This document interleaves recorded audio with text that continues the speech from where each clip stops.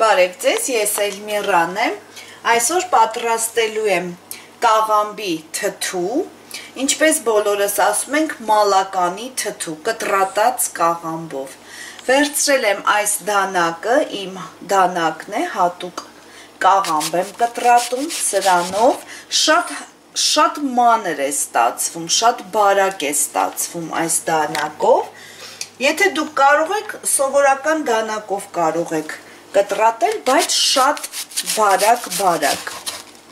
Ինձ թվում է գաղտնիքը հենց սրա մեջ է, որ ինքը բարակ լինի, ինչքան բարակ լինի, այնքան ավելի համեղ կստացվի։ Վերցրել եմ մոտ 2 կիլոգրամ կաղամբ եւ 5-6 հատ գազար։ Սկզբից կտրատելու եմ կաղամբը, հետո նոր գազարը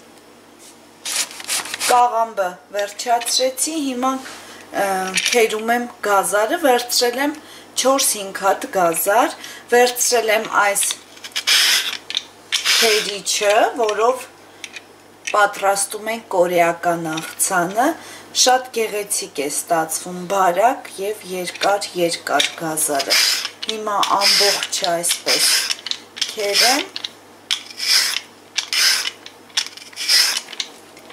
Հիմա լավ խառնելու ենք, որպեսի հավասարաչափ խառնվի եւ տեղավորվի բանկայի մեջ։ Այսպես։ Նույն բաղադրատոմսը կա նաեւ ռուսական ալիքում, կարող եք հետևել, լինկը բաղադրատոմսի ներքևում է։ Կարող ենք նույնիսկ մի քիչ ավելի մեծ աման վերցնել, որ լավ խառնվի։ Վերցրել եմ 3 լիտրանոց բանկա, հիմա տեղավորելու եմ բանկայի մեջ, ինչքան հնարավոր է սեղմելով այսպես,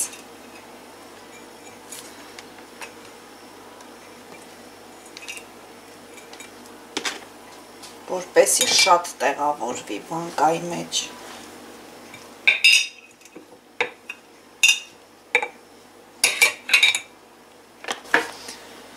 Տեղավորելուց հետո լցնում ենք գոլ ջուր, շաքարավազը 1 ճաշի գթալ, ջրից հետո լցրեք անպայման, որ ինքը մի անգամից չգնա տակի հատվածում։ Եվ երկուսու կես ճաշի գթալ աղ։ Կարող եք նաև խոշոր աղ վերցնել։ Ես մանր աղ եմ լցնում։